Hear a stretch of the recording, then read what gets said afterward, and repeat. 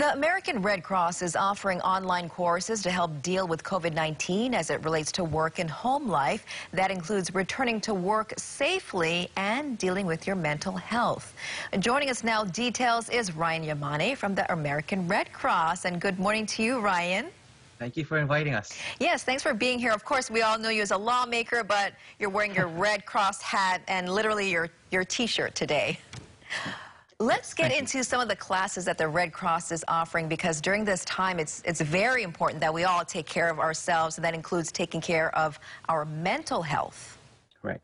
Yes, is you know during this time there's a lot of stress uh, with COVID. You know, parents are not only taking care of their children and dealing with work issues, but also helping with education. So Red Cross offers two major courses.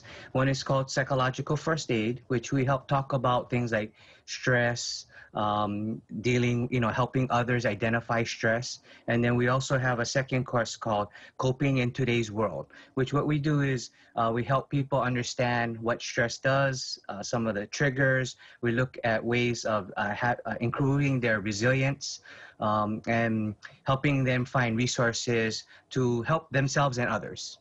What about services for mental health? What kind of services does the Red Cross offer during disasters while dealing with COVID? Sure. Um, you know, part of Red Cross's services, we have um, majority of us are volunteers.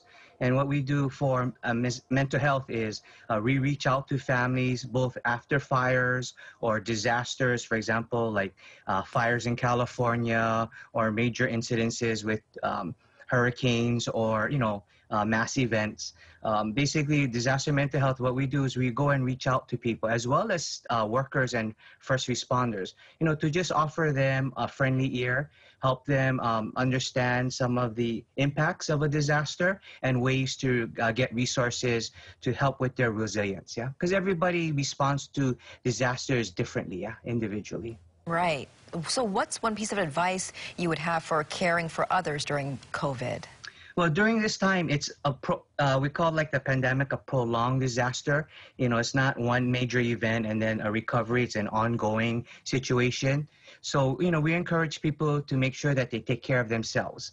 You know, as we focus on our family and our ohana, um, and we're focused on, you know, our children's or, you know, um, education, we also want people to take time away to, type, uh, to focus on their emotional situation. And, you know, if it becomes to a point where your emotions or your stress overtake what you're doing, we encourage finding a way of de-stressing, like a hobby, meditation, yoga. And if you can't do that or you might need additional assistance, reach out, you know, um, ask for counseling. You can always call the Red Cross and we can assist. Uh, please call our chapter. Um, and, you know, we just want people to know that the Red Cross is always here for them.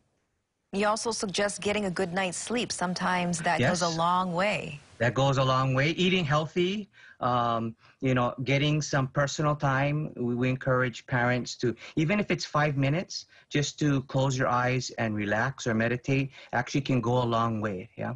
Um, sometimes we get overstimulated with what's going around us, and so we don't really take care of ourselves. Yeah, and then we get burnout. Where can people find more information on these classes?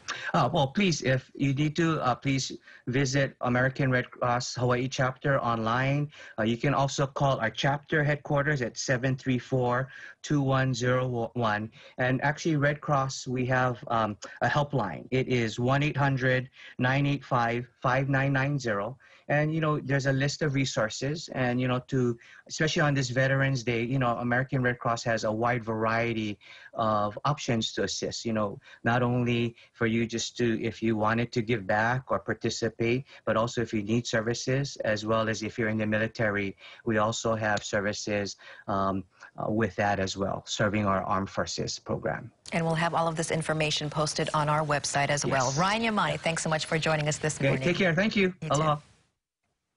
We'll break down the stories you need to know about